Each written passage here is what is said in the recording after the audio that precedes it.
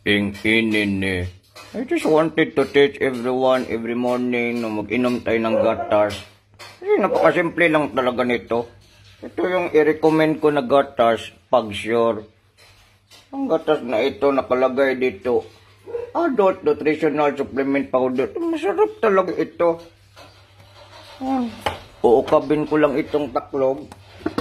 Tapos may ipoil dito. Pag ganun pagwahing mo, Pakikitaan mo na sa ilawom yung gatas. Kaya ganito ang pagtimpla ng gatas.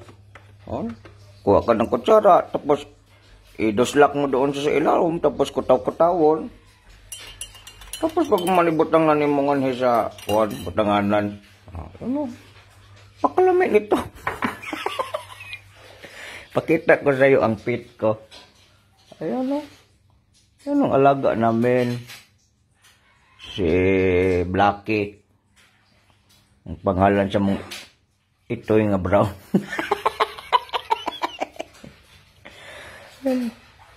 Tapos mag-iinom muna ako ng gatas. Ito every morning yan.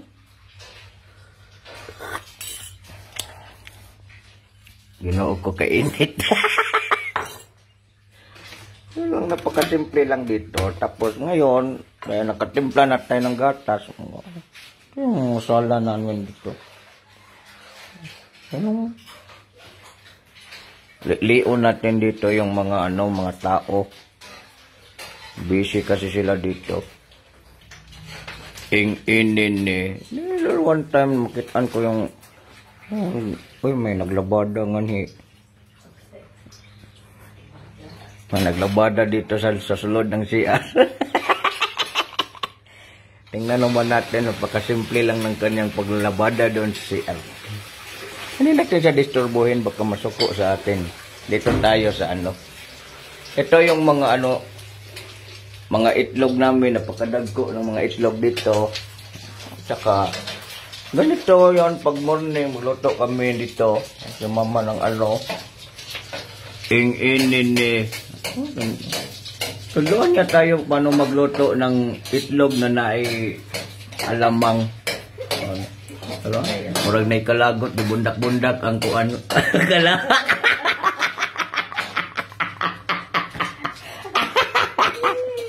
ang inin ni. Bilang purnas niya ang kalaha ang inin ni. Oh?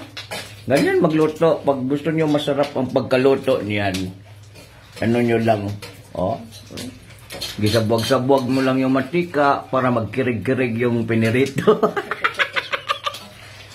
Ing inin ni, ayun no. Ay, napakasimple lang yung pagkaluto kasi ano, itlog, sinagulan lang yan ng ano, yung ano, ano alamang yan o corn, corn beef. Beef loaf. Ing inin ni beef loaf pala yung sinagol. Pag init ng kalaha, butangan ng mantika. Katapos, yung kinutaw-kutaw niya kanina na loaf at saka itlog, sinabuag niya yun sa ano. Sinabuag niya yun sa kalaha. Yan.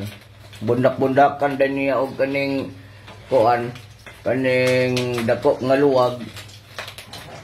Oo. Ayan, luto na. Ing inin ni.